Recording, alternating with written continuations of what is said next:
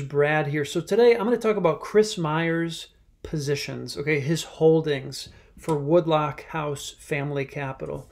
Last week I covered a blog post that he did uh, called 100 Baggers, you know, Q&A Finding 100 Baggers. And in this blog post, uh, he mentioned six of his 11 holdings.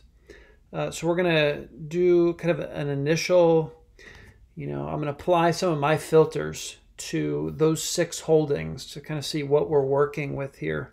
Um, but in this paragraph, he, he mentions a few of these and talks about them briefly. So he's asked, what stock do I think could be a 100 bagger? Okay.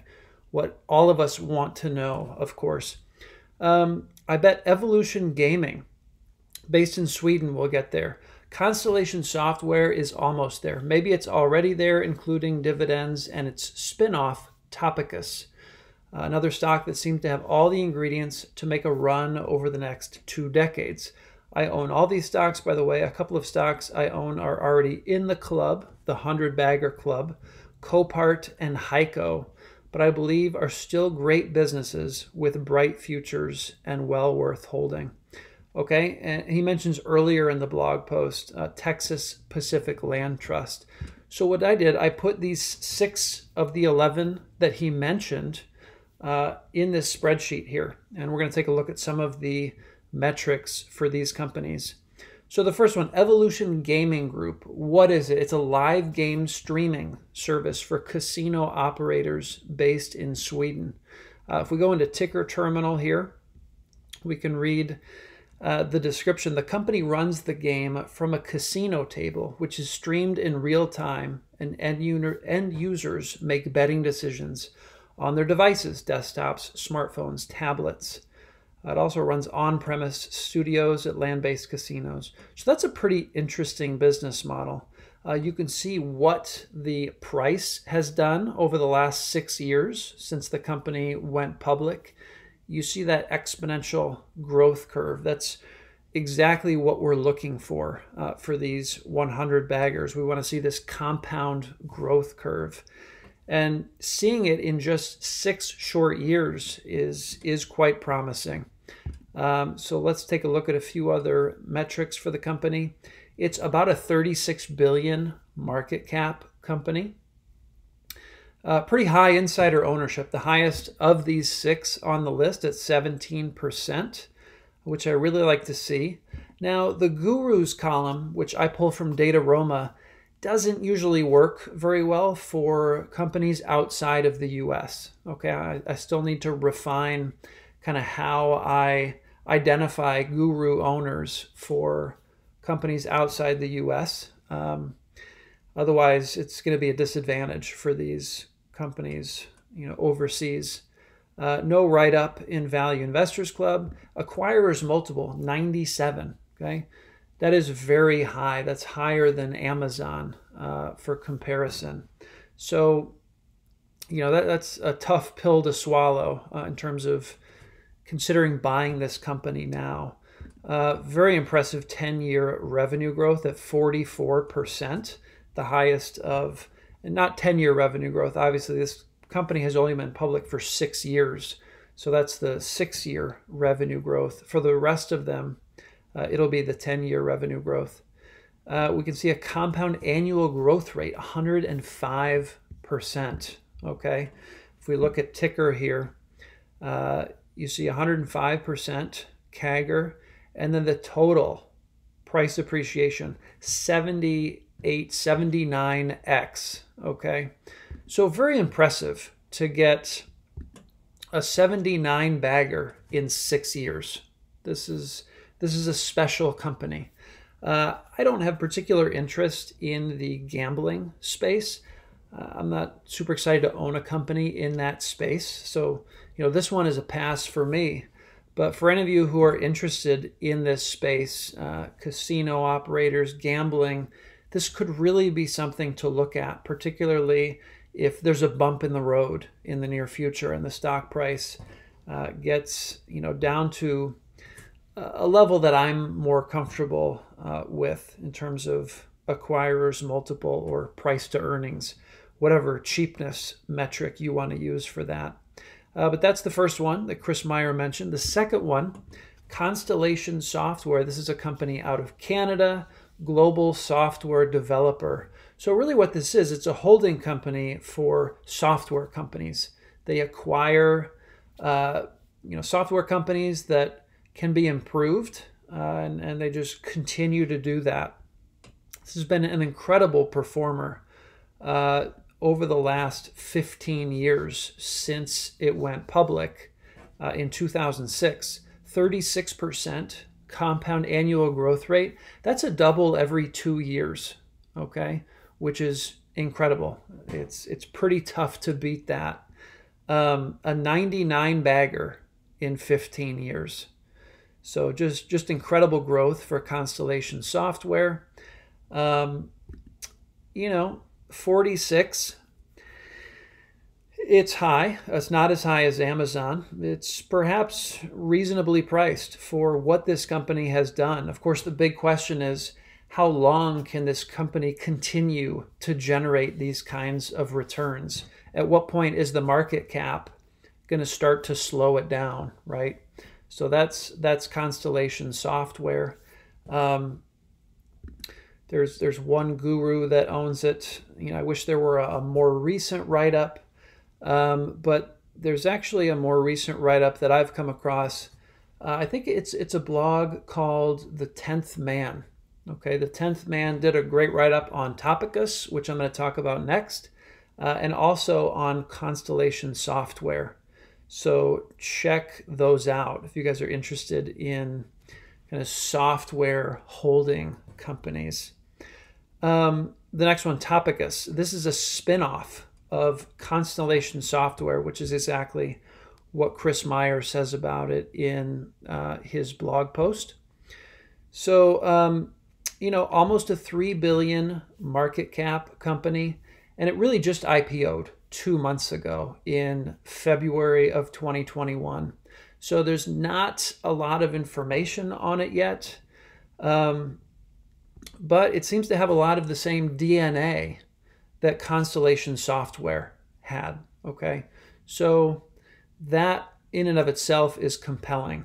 There's something I read in Corner of Berkshire and Fairfax about Topicus that you know it's currently trading like 40 times 2021 free cash flow, which you know feels a bit frothy to me. Um, it's it's difficult for me to justify paying that kind of price. Um, but similar with Evolution Gaming, you know, it might be one to put on the watch list. And, and if something happens where, you know, the price takes a hit, uh, could easily become a compelling investment opportunity. So you know how I'm going to approach this one. I'm going to learn more about it. I'm going to see what I can find out there uh, about the company, and you know perhaps come up with a target price for it and simply wait to see if Mr. Market delivers that uh, entry price at some point. So that's that's Topicus, and and the company is really focusing on software companies in Europe. Okay, which is different than the focus for Constellation software. And there's a case to be made in this write up by the 10th man that um, uh, it may be actually easier to find opportunities in that space in Europe than it was where Constellation software was shopping. So, uh, definitely want to take a look at if you have any interest in this particular industry. Uh, next one on the list Copart, online auctions and vehicle remarketing services. Okay. So Copart, second highest insider ownership on the list. I really like that. There's three guru investors who own this one as of the fourth quarter 2020. Uh, there is a write up from 2018, about three years ago, in Value Investors Club. Uh, acquires multiple 32. Um, perhaps not unreasonable for a company that has generated a 21% compound annual growth rate um, over the last 27 years. So let's take a quick peek at Copart in TIKR Terminal. So Copart, I believe, has been around for quite a while. Um, founded in 1982 in Dallas, Texas. So, you know, this says, my spreadsheet says 27 years. Uh, the, the service I was using to calculate the compound annual growth rate only went back to, um, you know, 1994. Uh, so that's that's the data that I had of or 1996, right? 94, that's right.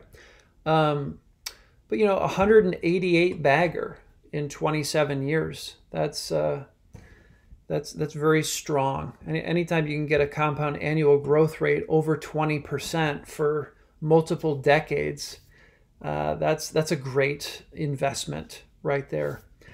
Um, anything else I want to say about Copart? Let's look at the chart over you know as far back as we go here. So here it goes back to what early 2005.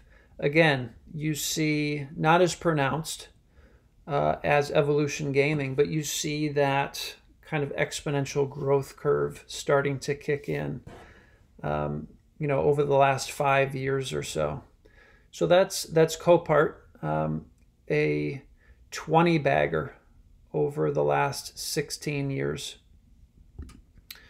and uh, obviously a lot more than that over 27 years, 188 bagger. So the cool thing about doing these kind of studies of companies that have generated 100 bagger or more returns, you start to see patterns differently. You start to understand, okay, what does it look like for a company to have exponential growth uh, in the CAGR, in you know the the multiples of price. Um, you start to look for these different patterns than what we're used to seeing. Um, so that that's a perk. Uh, that's Copart. Again, I don't have any particular knowledge of this industry, uh, online auctions and vehicle remarketing services.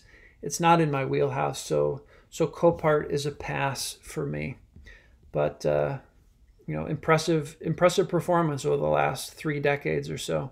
HEICO Corporation, aerospace defense and electronic related products and services. I'm just going to refresh my webcam here. And I am going to float. Let's float that webcam. So HEICO, what has HEICO done? Um, let's look it up here in TIKR. So HEICO has been around for a very long time. Uh, but the current management, I believe, took over in 1990. So that's kind of the time frame we're going to look at. Founded in 1957. Okay, so pretty old company. Um, so we're looking at 29 years, okay, for what I can look up in the service I'm using. Um, 22% compound annual growth rate, a 329 bagger. You guys, it's incredible to see the difference here. There's a 1% CAGR difference and a two year time difference.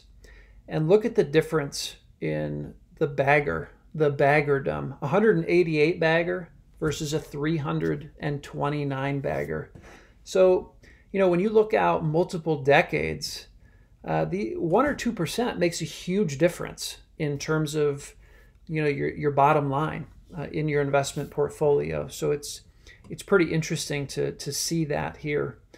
Uh, 52 acquirers multiple, pretty pretty frothy. Uh, it's possible that earnings just took a little bit of a hit the last year, and that's kind of distorting the numbers a little bit in terms of looking at this company over the long term. So, you know, I don't know how much emphasis I would put on acquirers multiple for these long term compounders, but you don't want to pay any price, obviously.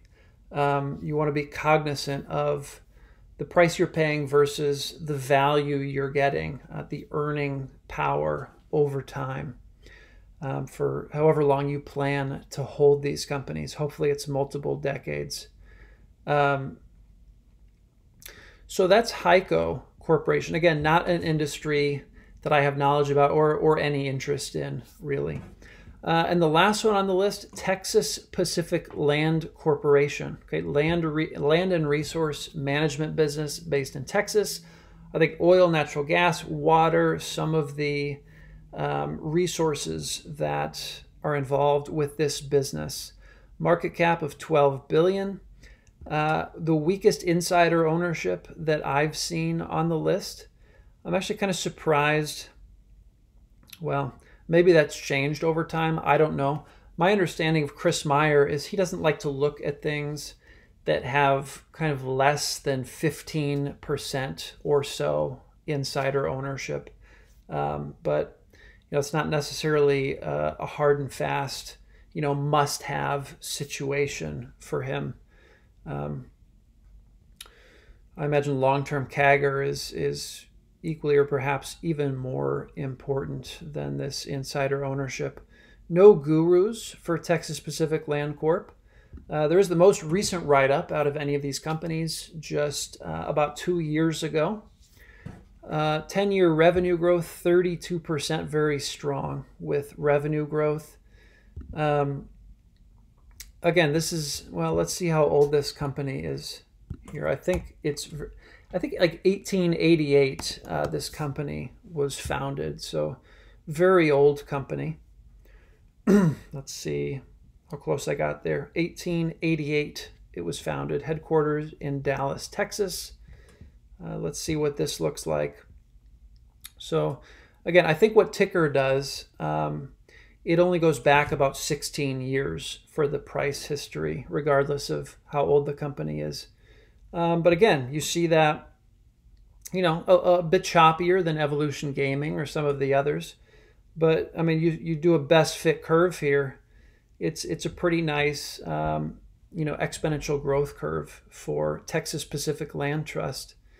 Uh, and you can see over the last 16 years, 29% compound annual growth rate, and you've got you know 64 bagger over 16 years. So you know it, it's it's nice to compare you know, kind of the, the overall compound annual growth rate for however long you can get data. Ideally, however long the business has been around, and then look at kind of a more recent compound annual growth rate uh, over the last, you know, uh, decade or two. Uh, so 29% over the last decade and a half is very strong for compound annual growth rate. So I like to see that. Um, and, you know, 464 bagger over 33 years. Uh, nobody's going to be disappointed in, in that result. So, uh, again, though, not not an industry that I'm that I'm interested in. Gas, oil, uh, things like that. Uh, so, really, the only one on this list um, that I'm planning on looking deeper into is Topicus. Okay, uh, if it does in fact share much of the DNA as Constellation software, and I can get it at a price that doesn't feel like, you know, I'm I'm really just paying a very frothy uh, number for this company, a, frothy multiple. Um, it could be interesting. Could be very interesting over the next decade or two, uh, which Chris comes comes directly out and says in that blog post. So look for a deeper dive on Topicus uh, in the near future. Let me know if you're doing a deeper dive on any of these or if any of them are on your wish list and uh, any other holdings that Chris has, right? Uh, I want to add those. I'm pretty sure he owns Howard Hughes. He's talked about Howard Hughes Corporation in past blog posts. I know Bill Ackman is also pretty heavy into Howard Hughes Corporation.